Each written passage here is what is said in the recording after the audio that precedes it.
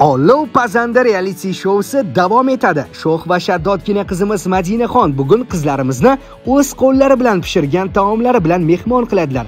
Hozir qisqa tanishuvdan so'ng bozorga qarab birgalikda yo'l olamiz.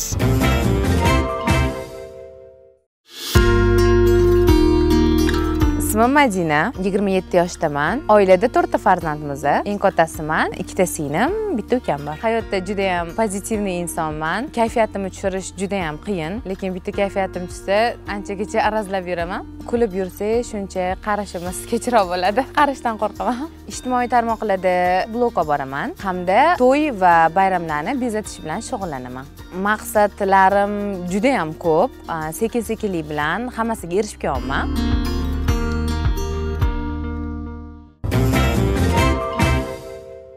assalomu alaykum aziz yurtdoshlar. Mana bugun mani uyimga mehmonga kelishadi. Uyda bozorlikni hamma kimi vaqti bo'lsa qilaveradi. Man bozorga boradigan bo'lsam bir kunlik hamma ish rejamni bekor qilaman. Bozorga borib oxirgi pulimni ishlatib boshqa narsa olishga pulim yetmasa keyin majburligimdan bozordan chiqib ketaman. Ikki yuz ming so'm pul berishdi xarajat qilishim uchun o'n besh daqiqa vaqt berishdi hozir sekundameri yoqamiz qani ketdik? Menga pomidor kerak. Pomidor bitta ekan. Bodring bodring bodring. Qani? Uchta. Katta bodring bo'lsa ikkita ham bo'laveradi. Keyin chesnok kerak menga. Chesnok bitta dona yetadi. Salat bargi. Kashnich. Dunganskiy bu bu dunganskiy qalampirmi? Menga bir kilo kerak emas. Aysberg karam bu yerdan oladigan narsalar kartochka. Kartochkani arzoni bu besh ming bu nechi pul ekan bundoq turing o'n ming ekan bo'lmaydi to'rt yarim ming bo'ladi mana bu. Uchta dona manga yetadi. Bitta piyoz yetadi. Keyin bitta dona banan. Bo'ldi. Bu yerdan oladiganim bo'ldi mana bu yerda o'lchatamiz aka iltimos ishingizni to'xtating deb o'lchaymanman bo'ling bo'ling bo'ling bo'ling. Mana buni o'lchang. Keyin to'xtang to'xtang ketib qolmang ketib qolmang. Ko'katlar pomidor pomidor bitta gapni ikki marta qaytaraman xafa bo'lmaysizlar tez tez mana bu ham sizga praktikada aka qoching qoching nima edi ha yer yong'oq yer yong'oq shakar krem chiz mana mana mana mana mana mayonez lavash bedana tuxum oddiy tuxum menga mana bunaqa kolbasa kerak manimcha qimmat yana qaysi mahsulot qolib ketdi qaymoq smetana koreyka mana mana koreykani berib yuboring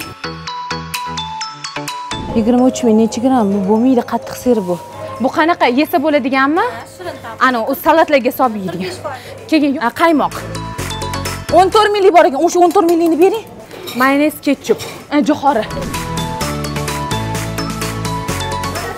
hozir hozir hozir. Saxirniy pudra o'n ikki ming bo'ladi. Ketchup ketchup ketchup qayerda edi. Mana ketchup. Bo'ldi. Telefonim qani? To'qqiz yuz ellik. Hammasini olishga ulgurdingizmi? Ulgurdim. Hamma narsamni oldim. Aniq hammasini oldingizmi? Bozorimizni oxirigacha qilib bo'lmadik tovug'i anaqa grudi anaqasi qolib ketdi iltimos tovuqqa qarab boringlar bitta mana bunaqasidan bering. Aka bog'lashingiz ham shart emas. Bozorni endi qilib bo'ldim tovug'i ko'krak qismi qolib ketgan ekan. Bugungi bozorlik vaqt belgilanganligi uchun mani cho'chitdi. Raqiblarim to'qqiz daqiqada o'n ikki daqiqada bozorlik qildik deganda man cho'chib qoldim. Ulgurarmikinman degan xayol mani tinch qo'ymadi. Ulgurdim o'n daqiqada bozor qildim o'n minut. Ana endi bozorlarimizni qilib bo'ldik uyga borib mehmonlarni chiroyli kutishga harakatni boshlaymiz.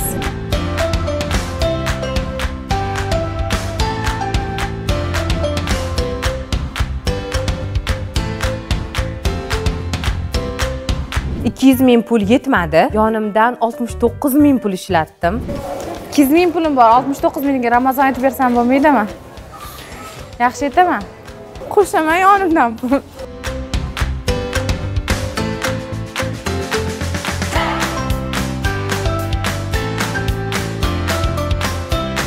shoh farmon qiladi degandiki hujjat anavi spiska bo'ldi.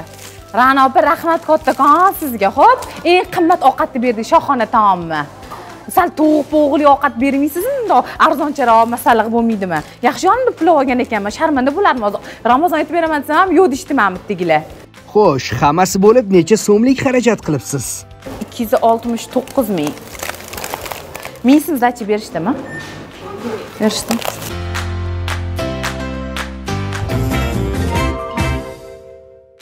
assalomu alaykum aziz o'rtoqlar yana bir bora biza bozorliklarimizni aniqib keldik. Hozir mehmonlarni kutishga tayyorgarlikni boshlaymiz man ra'no opani bergan menyular asosida ovqat qildim. Bizada to'rt xil taom. Birinchi ishimizni perchatkalarni kiyib olib asosiy ovqatimizni marinovkasidan boshlaymiz. Manga menyuda pirzola taomi choyxona taom tushgan. Man bugun sizlarga marinovka qilib pechda tayyorlanadigan pirzolani o'rgataman. Go'shtlarimizni yuvib olamiz unga ziravorlarimizdan solamiz.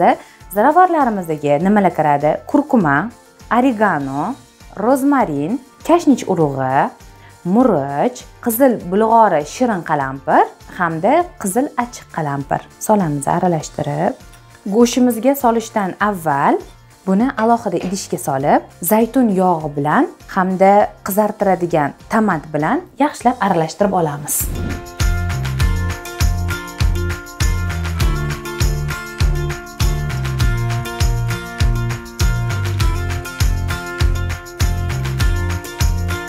E'tibor beramiz o'rtoqlar go'shtni dimlashdan oldin kartoshkalarni qolgan sabzavotlarni solamiz. Uning uchun bizaga sovus ozgina qolishi kerak. Sababi sousga botirib botirib kartoshkalarni taxlab chiqamiz kartoshka sabzalarini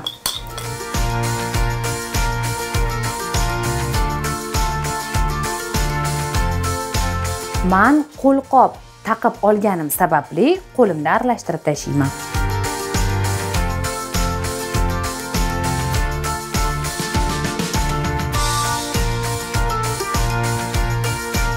qaranglar o'rtoqlar ranglari qanaqa chiroyli chiqyapti. Bu yoqda qizil bulg'ori qalampir shirini hamda kurkumani judayam judayam roli katta mazasi judayam ajoyib bo'ladi. Ranglaridan ham bilinib turibdi. Xudo xohlasa hammaga yoqadi. Marinovka qilib yaxshilab qizartirib olgan go'shtlarimizni xohlasanglar duxovkani listiga taxlab chiqasizlar. Xohlasanglar shishali idishimizga chiroyli qilib taxlaymiz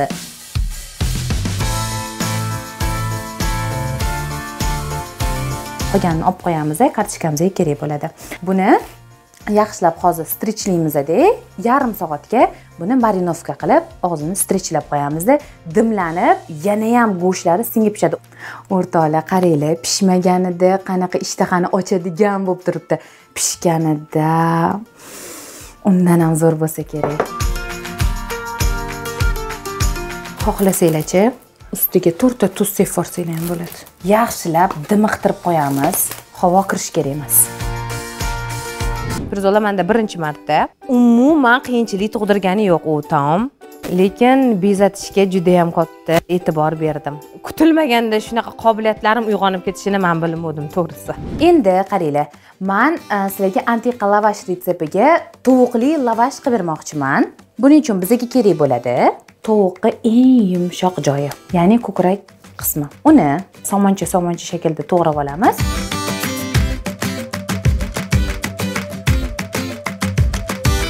Tovuq go'shtini ham albatta marinovka qilishimiz zarur va shart. Marinovka qilsak go'shtimizga bizani ziravorlarimizni ta'mi o'tib yanayam mazza beradi. Tuz solish esdan chiqmasin. Hammasini aralashtiramiz.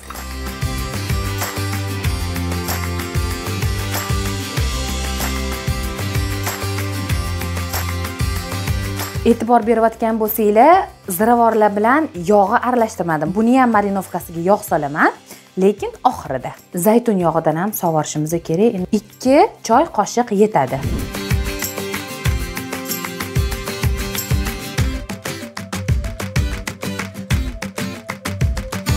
Buni ham strich bilan o'rab og'zini yopib chekkaga olib qo'yamiz endi bemalol desertimizni biskitni tayyorlashga o'tsak bo'ladi. Uning uchun bizga kerak bo'ladi oltita xona haroratidagi tuxum. Oltita tuxumni sarig'i bilan birga chaqamiz. Man mana bunaqa bunaqa ovqat qildim mana bunaqa bunaqa shirinlik qildim desam hech kim ishonmaydi. Man bu ko'rsatuvga chiqishimdan maqsadim ham pazandaligimni isbotlamoqchiman. Ko'rib qo'yishsin unga bir chimdim tuz solaman. Bir yuz yigirma gramm shakar solamiz.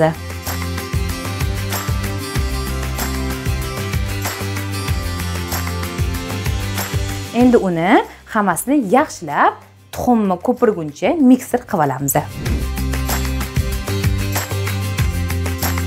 Tuxumimizni ko'pirtirayotganimizda avval past tezlikda shakarlari erigandan keyin esa bemalol baland tezlikda ko'pirtirsanglar bo'ladi.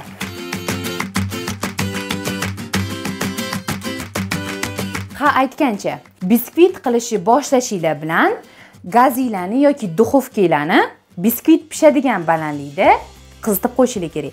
Man pech ishlataman hamda bir yuz sakson gradusda besh o'n daqiqada pishirib olaman. Tuxumni yaxshilab ko'pirtirganimizdan so'ng sakson gramm o'simlik yog'idan solamiz. Osh qoshiq o'rtacha yigirma gramm hisobida to'rt osh qoshiq o'simlik yog'i solamiz. Yana mikser qilib yuboramiz. Bir yuz yigirma gramm elangan unimizni solamiz.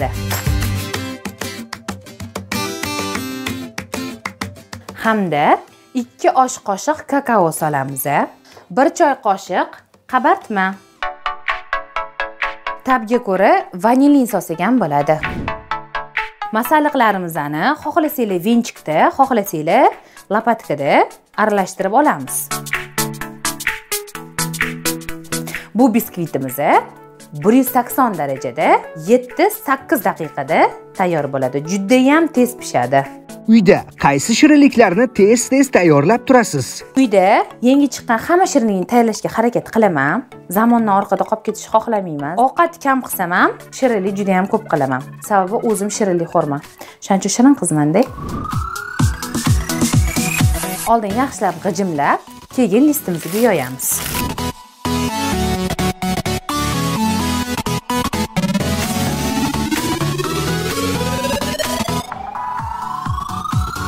Bir yuz sakson darajada yetti sakkiz daqiqada pishib oladi. Tepa past issiqlik yoqiladi. Biskvitimiz tayyor bo'lguncha biz salatimizni quymog'ini tayyorlab olamiz. Uning uchun bizga quymoq qiladigan tova kerak. To'rtta tuxum bir chimdim tuz hamda ikki osh qoshiq un. Man do'kondan un nimaga olmadim? Chunki un oladigan bo'lsam bir kilo olishimga to'g'ri keladi. Manga ikki osh qoshiqqina kerak. O'zimni yonimdan ishlataman.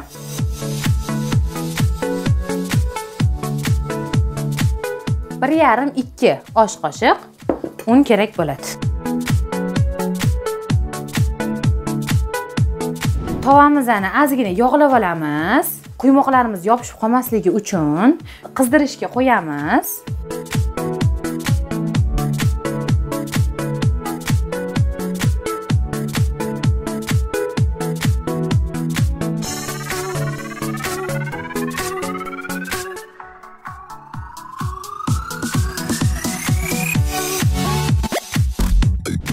Quymoqlarimizni tayyorlab oldik. Endi lavashimizni tovug'ini marinovkasidan olib qovurib olamiz. Tovaga yog' solib qizdiramiz va tovuqlarimizni birin ketin qovurib olamiz. O'rtoqlar biskvitimiz pishibdi. Pergament qog'ozini olamiz. Listi bizga kerak. Tagidan havo o'tib turadigan sal balandroq joyga qo'yib o'zida sovutib olamiz. Asosiy taomimizni kartoshkalarni kesib olamiz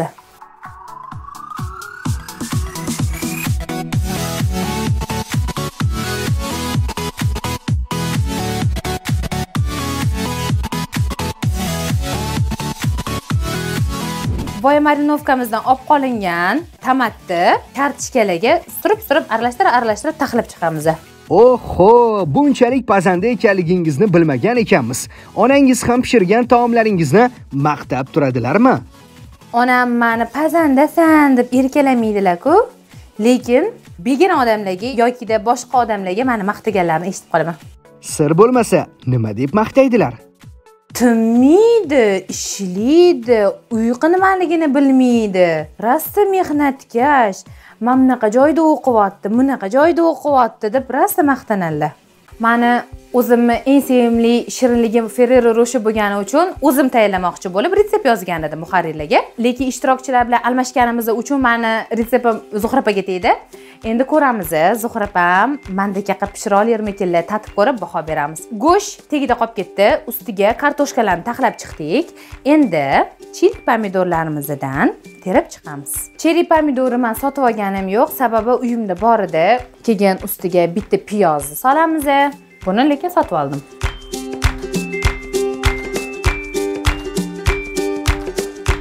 Sarimsoq piyoz katta katta qilib to'g'rab yuboramiz. Dona dunyan qalampirini qo'yamiz. Ko'kat.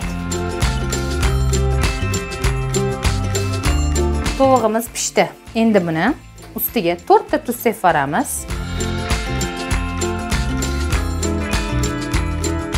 nimani unutdingiz? Ustini folga bilan yopishim kerak edi. Esimdan chiqib qolibdi shoshyapsizmi deymanda? Ha shoshib ketyapman yuragim o'ynab ketyapti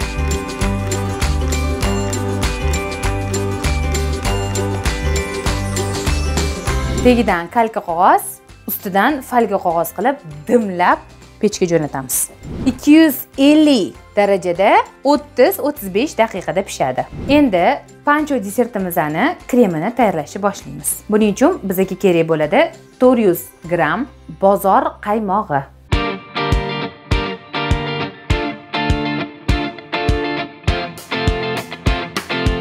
Ikki yuz yigirma gramm tvorogli pishloq. Hamda 100 gramm shakar upasi. Tabga ko'ra ozgina vanilin qo'shib yuborsanglar ham bo'ladi. Hamma masallig'inglar muzdek bo'lsa xuddi muzqaymoqga o'xshab chiqadi. Avval sekin tezlikda shakar upasi erigandan keyin sal balandroq tezlikda aylantiramiz.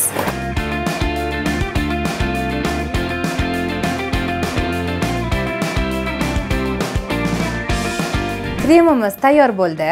Biskvitni kesib to'g'irlagunimizcha kremni muzlatgichga qo'yib turamiz bizni pancho tortimiz noodatiy ko'rinishga ega. Uning uchun bizga mana bunday idish kerak bo'ladi. Biskvitimizni shu idish kengligida iz tushirib olib shu iz bo'yicha kesib olamiz. Eshitishimizcha kliplarda ham suratga tushgan ekansiz. Shundaymi?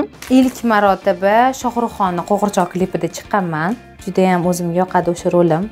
O'zimni xarakterimga mos. U klipga sakkiz yil bo'lgan bo'lsa ham haligacha ko'chada ko'rganlar aniq eslolmasa ham qayerdadir ko'rganman a sizni deyishadida keyin yonidagilari shohruxxonni klipida chiqqan qiz-ku desa ha voy o'sha qizmisiz? deyishardi. Hozir o'sha qizmi deysiz? Rosa ozib ketibsiz deyishadi. Tortimizni dumaloq kesib olgan shaklimiz bu eng tagidagi qopqog'i hisoblanadi. Ichiga kvadrat kvadrat qilib terib chiqamiz biskvitimizni noodatiy shakli bilan boshqa shirinliklarga nisbatan ajralib turadi. Bu idishimizga yig'amiz tortimizni agar biza strich yordamidan foydalanmasak tortimizni idishdan shilib ololmaymiz. Shuning uchun biz strichlab qolib yasab olamiz.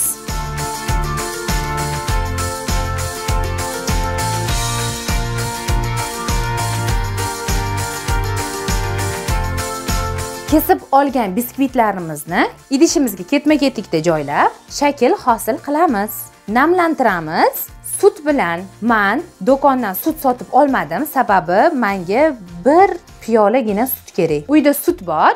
Shuning uchun do'kondan sut sotib olmadim. Yasab oldim. Ketma ketlikda bir xil bo'lsa to'ntarganinglarda judayam chiroyli chiqadi. Muzlatkichdagi kremni olamiz. Biskvitimizni ustiga solamiz. Yaxshilab biskvitlarimizni ustini qoplab chiqamiz. Boya do'kondan banan sotib olgan edim bitta bananimizni yarmini to'g'rab taxlab chiqamiz. Bu shokoladli tort bo'lgani uchun ichiga yer yong'oq solamiz. Ja unaqa ko'payib ketishi kerak emas. Quyiltirilgan sut buni ham uydan ishlatyapman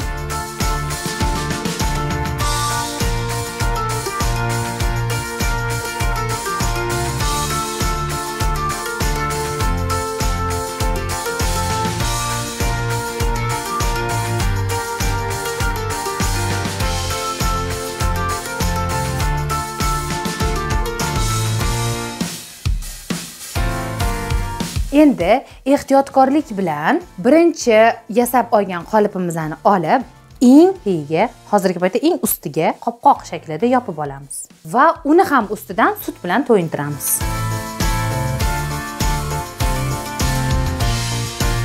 Yasab oldik kremini olib qo'yamiz. Ustini bezatish uchun buni ham ustini strich yordamida o'rab muzlatkichni muz xonasiga mehmonlarimiz kelgunicha turib turishi kerak. Mehmonlarimiz kelishi bilan ta ta ta ta ustini yasab tashlaymiz shoshilinch xabar. Biz hozir pancho shirinligimizni tezda ganajni tayyorlab olishimiz kerak. Uning uchun bizga bitta shokolad kerak bo'ladi. Ikki osh qoshiq voy sal qoldi mayonez yuborishimga ikki osh qoshiq qaymoq. Mana shu ikkalasini eritib olamiz. Yaxshilab. Manga eritgan shokoladimni rangi kamlik qiladi. Shu sababman bir osh qoshiq kakao qo'shib yuboraman.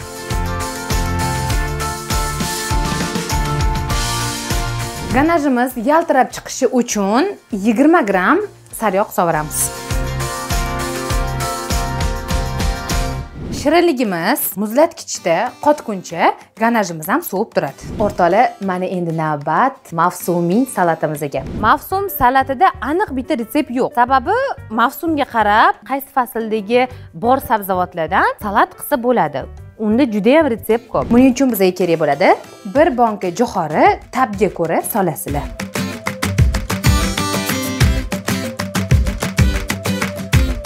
Ko'k no'xat ikkita bodring biza bularni to'rtburchak to'rtburchak to'g'rab olamiz to'g'rimi?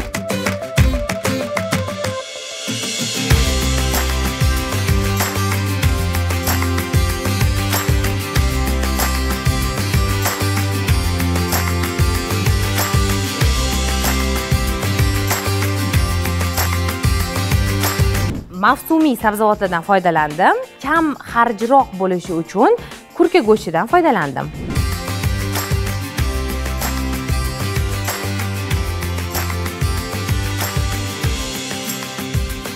pishloq bir yuz ellik ikki yuz gramm yetadi. Hammasini bir birini shakliga mos qilib to'g'rab olamiz. Man sizlarga bitta sirni ochaman. Bu salatni o'zim o'ylab topdim. Xohlagan narsangni sol faqat u bahorga mos bo'lsin deb nomlanadi. O'zi aslida lekin mavsum salati deb yuboramiz mayonez solamiz.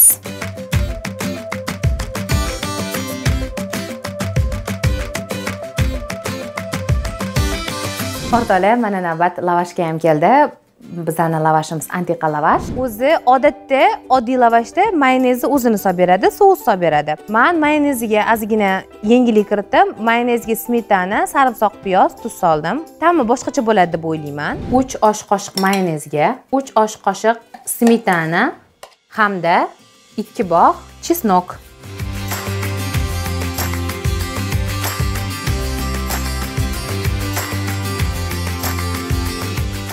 bu tayyor. Tovog'imizni ham mayda mayda qilib to'g'rab tashlaymiz bodrinimizni parrak parrak qilib yupqa qilib to'g'rab olamiz.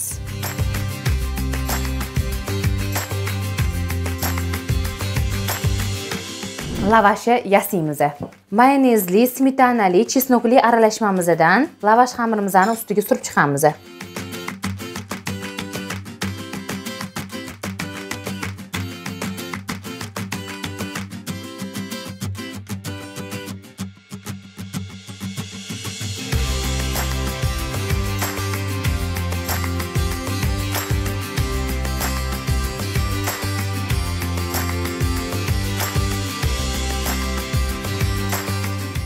endi buni olamiz. Tosterli tovam bor. O'shanga bostiraman man lavashni butunligicha berish niyatim yo'q. Sababi menyuyimiz juda yam katta.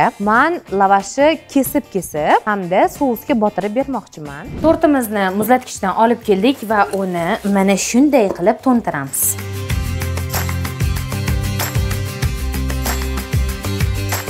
esinglarda bo'lsa boya ganaj tayyorlagan edik ganajimizni ichiga yer yong'oqlarimizdan solamiz.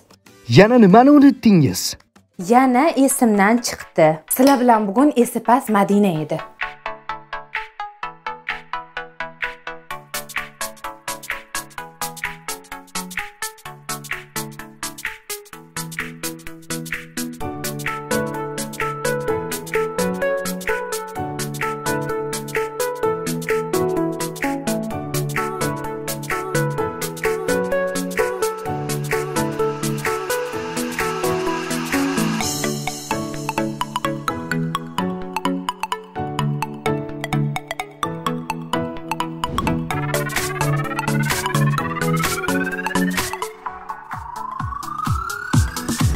aziz yurtdoshlar sizlar bilan birgalikda hamma taomlarimizni tayyor qilib bo'ldik to'g'risini aytsam charchadim. Birdaniga to'rtta taom man uchun og'irlik qildi.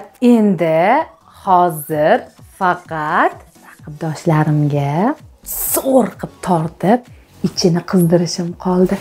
Ular kutib o'tirishibdi madina. Qanaqa qilib bizani hayratda qoldirar ekan deb. Ko'ramiz o'rtoqlar baho berish ulardan. Man tayyorman kesib tortaman hozir. Assalomu alaykum ezgu niyatli sevimli kanalning sevimli muxlislari. Siz bilan olov pazanda loyihasini sakkizinchi mavsumida uchinchi ishtirokchimizni xonadonlarida diydor ko'rishib turibmiz bugungi. Mohir oshpazimiz madinaxon qizlarjon yaxshi keldinglarmi? Rahmat yaxshi keldinglar. rahmat yaxshi kayfiyatlar yaxshimi? Assalomu alaykum. qayta qaragisi keladi. Xush kelibsizlar xush kelibsizlar. Va alaykum assalom keling. Man sizlarga choy olib keldim. Yaxshi keldinglarmi dilnozaxonni o'zlari quyib yuboradilar. Ha endi sinimizdan foydalanamiz. Yeng kelinlar baribir bir qo'lingizdan choy ichaylik. Charchab qolmadingizmi madina yo'q yo'q charchamadim deb aytmayman charchadim. Hayajonlandim. Demak bizda birinchisiga salat ra'noxon. Mavsum. Salati mavsum salati sezganingizdek ra'noxonni retseptlari bilan madinaxon bugun oshxonada javlon urganlar. Ha hozir sekin sekin uzataverasizlar ho'p bo'ladi keling o'ziga o'xshab chiroyli chiqibdi rang baranglikka e'tibor berdim. Qizil sariq yashil degan joylaridan ham bor.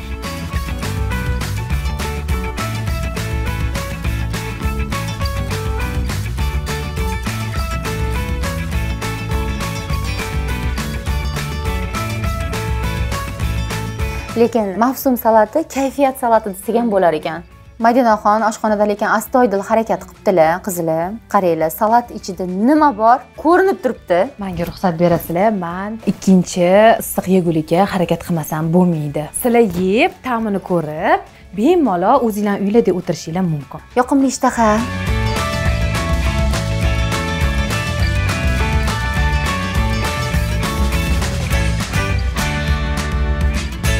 qilgan salatim o'zim ham tuzini totib ko'rdim. Onam ham yeb ko'rdilar maqtadilar o'zi onam mani kamdan kam maqtaydilar uyalib qolmayman degan umiddaman. Madinani mavsum deb nomlangan salatlari juda yam yaxshi tayyorlanibdi. Juda yam yoqdi. Tuzlari hammasi me'yorida mavsumga mos chiroyli bezatilgan edi. Mavsum salati juda mazali kamchiligi yo'q menga juda yoqdi. Mavsum salati menga juda ham yoqdi. Ta'mlari ham tuzlari ham joyida. Man tayinlaydigan salatga o'xshaydi mavsum salati menga yoqdi yaxshi chiqqan. Faqat manda sho'rva bo'lib qolibdi. Xafa bo'lmangiz madina tuz tushib qolibdi o'rtasiga yeyotganimda lekin qolgan hamma narsasi bir biriga tushgan. Mavsumiy salatni mana qizlar bilan birgalikda baham ko'rdik. Haqiqatdan ham ajoyib. Qizlarimiz o'z fikrlarini aytishdi. Endi mavzuga o'tamiz deb turgan joyimizda. Olov madinaxon birpasda issiq yegulikni hozirlab men tayyorman deb turibdilar. Demak issiq yegulik antiqa lavash. Lavash. Madinaxonni qo'llari bilan tayyorlangan. Jahranaxon boshqacha kutyaptilar manimcha yaxshi ko'rsalar kerak. Judayam. Mhm. xush kelibsizlar. Madina mehmon kutishni yaxshi ko'rasizmi yoki juda ko'p mehmon kutasizmi? Mehmon kutishni yaxshi ko'raman. Ko'rinib turibdi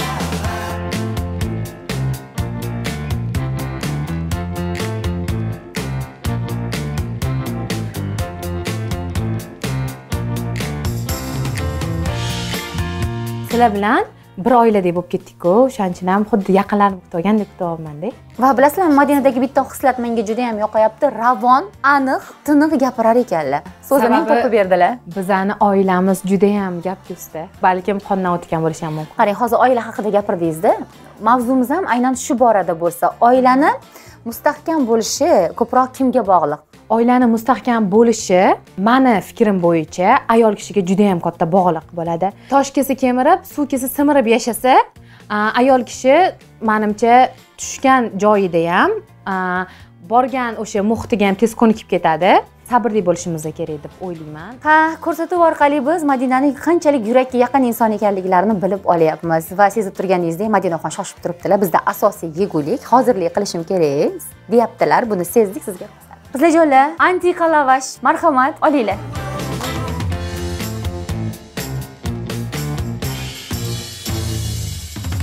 Antiqa lavash ichida chesnogi borga o'xshaydi chesnok solganlar manimcha va garmdorisi bor ozgina achchiq ta'm kelgani yana ham boshqacha qilgan lavashlarni yoqdi. Man o'zim lavash yeb ko'rdim. O'ylaymanki boshqalarga ham yoqadi mani o'zimga yoqdi. Antiqa lavashlari ham juda yam chiroyli kirdi manga yoqdi. Lekin tatib ko'rganimdan keyin ichiga solingan souslari me'yoridan sal oshgan shekilli yeyotganimda me'damga tegib qoldi ozgina antiqa lavash man tayinlaydigan quruq kasr kusur bo'lishi kerak bularnikida xamiri bo'kib qolgan. Antiqa lavash ozgina tuzi ko'payib ketibdi va lavash bo'kib qolgan. Mazza qilib tanovul qilib oldik qizlarimiz o'zlarini baholarini aytishdi. Ana endi mavzuga qaytamiz. Oilani xotirjamligi ko'proq kimga bog'liq? Ra'noxon? Ayol kishiga manimcha bog'liq bo'lsa kerak avvalambor. To'g'ri qarz ikki qo'ldan chiqadi. Manimcha ikkalamizga bog'liq bo'lsa kerak oilani olib qolish. Adashmasam 15 yillik oilaviy tajribaga egasiz. Mani aybimni xo'jayinim yopadi man xo'jayinimni ayblarini man yopib ketaman. Chunki har doim yonimda sirdoshim bo'lganlar yonimda har doim nima desam ekan tog'day tirgak bo'lganlar tirgak demoqchisiz. bo'lganlar suyanchig'im bo'lganlar. Haligacha bo'ladilar xudo xohlasa. mana shu tirgagingizga ko'z tegmasin har doimo yoningizda bo'lsin farzandlarni birgalikda katta qilib rohatini ko'rmoqlik nasib aylasin deymiz. Va shu o'rinda biz endi nozimaxonni fikrlarini eshitib ko'ramiz. Oilani xotirjamligi oilani tinchligi ko'proq. Kimga bog'liq? Mani fikrim qarz ikki qo'ldan chiqadi. Ayol va erkakga bog'liq deb o'ylayman. O'zimni o'n ikki yillik hayotiy tajribamdan kelib chiqqan holda shunga amin bo'ldim. Va ana shu joyda eshikdan mo'ralab mo'ralab bizni madinaxon yetib keldilar. tayyor. Asosiy yegulik eng kulminatsion nuqtaga ham da da da dan. Olinglar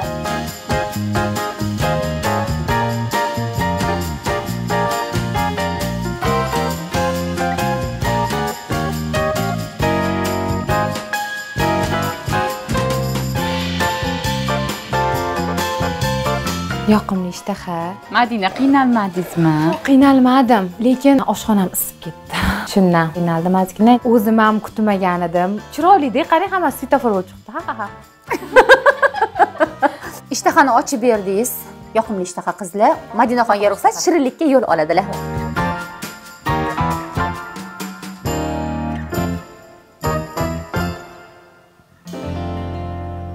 Prizola juda mazali taom. Menga yoqdi, kamchiligi yo'q. asosiy taom prezoli kartoshkalari ham yaxshi chiqqan go'shti ham yaxshi pishgan. U ham menga yoqdi. Birinchi marta ishim bo'lsa ham yoqdi. Asosiy taomni o'xshatibdilar hammasini joyida qilganlar. Kamchilik topmadim man asosiy taom perzolaga kelsak perzola ham juda yaxshi pishgan juda ham chiroyli bezatilib olib kirdilar souslari bilan kartoshkalari bilan qalampirlari bilan juda ham mazali chiqdi. Perzolla ra'noxon atay retseptga kirgizgan ekanlar. Chunki likopchada qolgani yo'q. Oxirigacha yeb qo'ydilar. Adashmasam baho ham shunga yarasha bo'lgan bo'lsa kerak. Ana endi azizlar yana mavzuga qaytamiz va bizga zuhraxon aytadilar javobini. Demak mavzumiz oila xotirjamligi ko'proq kimga bog'liq?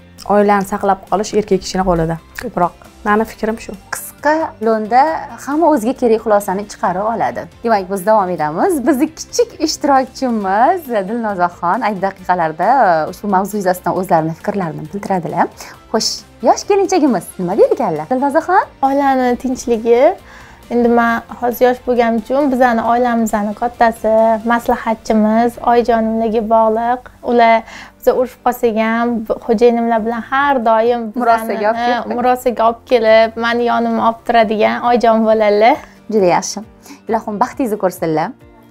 Xizmatlarida bo'ling duolarini oling va ayni daqiqalarda shirinligimiz yetib keldi. Assalomu alaykum. Assalomu alaykum xush kelibsizlar. Zerikib qolmadinglarmi? Kuttirib qo'ymadimmi? Voy muncha chiroyli. O'zizga o'xshab.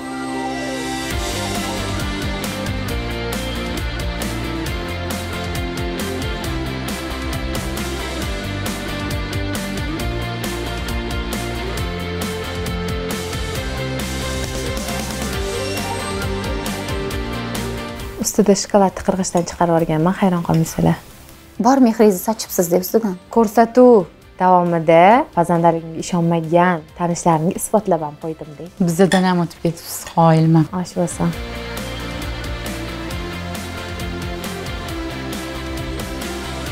pancho shirinligi ko'proq menga snikers tortini eslatdi lekin kremlari yaxshi. Yumshoq me'daga tegmaydigan bo'lib chiqqan. Shirinligi ham yoqdi menga pancho shirinligi kamchiligi yo'q juda mazali. Pancho shirinligiga gap bo'lishi mumkin emas. Judayam shirin va judayam chiroyli qilib bezatib olib kirdilar. Manga judayam yoqdi. Yoqqanidan hammasini yeb qo'ydim. Sut solganimni hisobiga ham biskviti umuman quruq emas kremi ham shirin emas.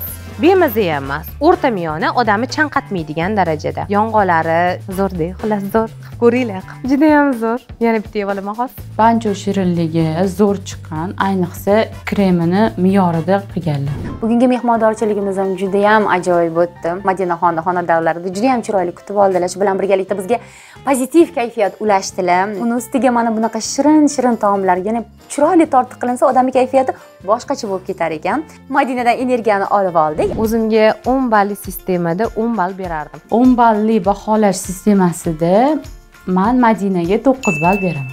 Lavashda kamchilik bo'lmaganda o'n ball qo'yardim. O'n balli baholash sistemasida man to'qqiz ball beraman. Chunki salatga tuzi ko'p solganlar o'shaning uchun. Faqat manda shunaqa bo'lgan bo'lsa kerak.